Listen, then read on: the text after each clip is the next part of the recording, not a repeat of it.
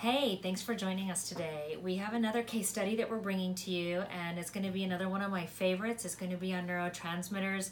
This is um, a case of a young man, 31 years old, and uh, he had fatigue and um, he had anxiety and depression, decreased memory recall, mind racing, brain fog, and he has a really interesting story because a lot of this started after he was um, after he was severely electrocuted in Mexico and he was burned over most of his body. He had skin grafting over most of his body. And then on the back end, as he was healing physically, he was having a lot of cognitive decline. The brain fog, the anxiety, the depression, all of this stuff set in that he didn't previously have a history for. So I want you to pan in and let's take a look at this. So this is his symptom sheet. I have all of the patients fill this out. If you've seen my other videos, uh, you have also seen this as well. This is a subjective form, uh, subjective data. This is how the patient is feeling. We have the patient rated on a scale of 0 to 10, with 10 being the worst.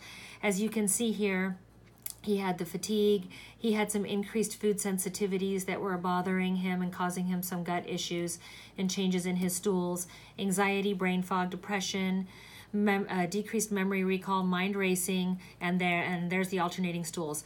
And you can see that he ranged uh, on a lot of these, you know, sevens, eights, uh, and nines, with a couple that were on the lower range. We started with him in January, so January 8th. Fast forward to April, we can see that his symptoms are decreased by 50% or more. Um, take the alternating stools from 8 to 2, the mind racing is is doing better. It wasn't super bad to begin with. The decreased memory recall went from a 9 to a 4, so his memory's gotten a lot better. The depression is getting much better. The brain fog is about uh, almost 50% decreased. Um, and uh, the food sensitivities are getting better. The fatigue is much better. Now, I want to talk to you a little bit about the lab work that we do in holistic medicine you know we understand that the body can heal itself if we give it what it needs. So if we give the body what we know that it needs we can get the engines running again. And when we do that the body uh, is able to fix itself and the symptoms go away. So we ran blood with him. We did some genetic work with him so that we could see the genes that were driving his brain chemistry and some other uh, different engines as well in his body. And we did his neurotransmitters and the one I want to show you today are the neurotransmitters. This is his brain chemistry test so that we can take a look and see what's going on. Because it's not always a serotonin deficiency that's causing the issue. So let me take a look here and see the first test. Let's zoom in on this.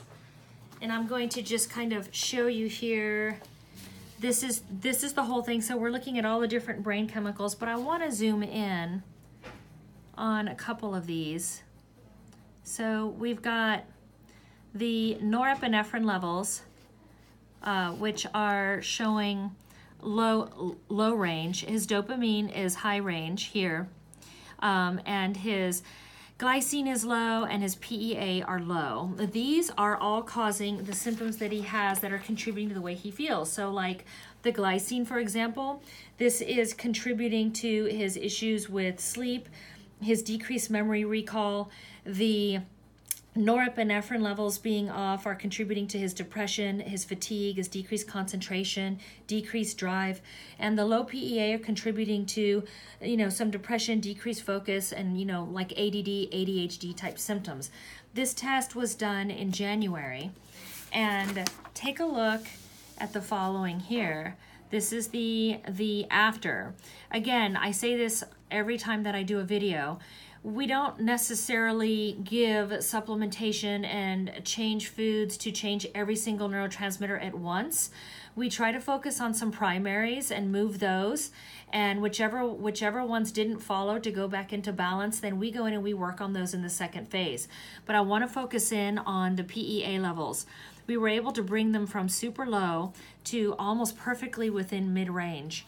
We were also able to bring his glycine level that was down really low, and we were able to bring it up as well. The uh, norepi levels, we were able to uh, bring those up as well. And so this is an example of what we're able to do with holistic work. If we look at the data, we can see what engines are not working right and we can supplement the patient and we see results like this every single day. So, if you know somebody, or if it's even you, suffering with anxiety, depression, brain fog, decreased memory recall, any type of neurotransmitter type imbalance, and you're looking for a natural way to get better, or you know somebody who is suffering, share this video with them. This is life changing. I have stacks and stacks of case studies that we're going to be going through and not just with brain chemistry but with everything from type 2 diabetics that we're seeing the type 2 diabetes completely reverse. We're seeing cholesterol levels drop by 30 40 50% inside of 30 days. We're seeing amazing things happen with food and with natural supplements and and using the the science backed data to show us how to do this we're getting amazing results. Thanks for joining me today and stay tuned for our next one. Have a great week